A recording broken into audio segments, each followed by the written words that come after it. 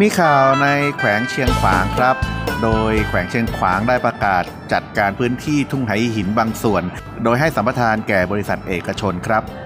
มีการลงนามบันทึกความเข้าใจ MOU ระหว่างกรมวางแผนและการลงทุนของแขวงเชียงขวาง และบริษัทการค้านำเข้าและส่งออก CNP เพื่อศึกษาความเป็นไปได้ในการจัดการส่วนต่างๆ ของแหล่งโบราณสถานแห่งนี้ครับทุ่งไหหินเป็นภูมิทัศน์ที่ได้รับการขึ้นทะเบียนโดยยูเนสโกในประเทศลาว ขึ้นชื่อในเรื่องของไหหิน รูปทรงกระบอกที่ใช้สำหรับพิธีศพในยุคก่อน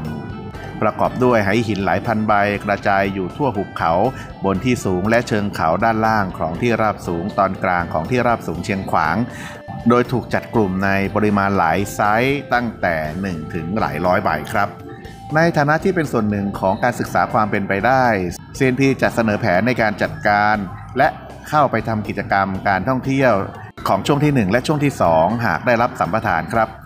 โดยช่วงที่ 2 ของทุ่งไหหินประกอบด้วยเนินเขา 2 ลูกที่ขั้นด้วยร่องน้ำตื้นทำหน้าที่เป็นถนนทางเข้า ในขณะที่ส่วนที่ 3 มีไหเกือบ 250 ใบ และแผ่นหินอีก 45 แผ่น โดยในพิธีลงนาม MOU มีเจ้าหน้าที่และผู้ที่เกี่ยวข้องเข้าร่วม โดยท่านคำภูโนลา หัวหน้าแผนกแผนการและการลงทุนในเชียงขวาง ท่านนางจันนภา วงสมภูมิ ประธานบริษัท CMP Import Export Trading ท่านบุญจันทร์ศรีวงพันธ์เจ้าแขวงเชียงขวาง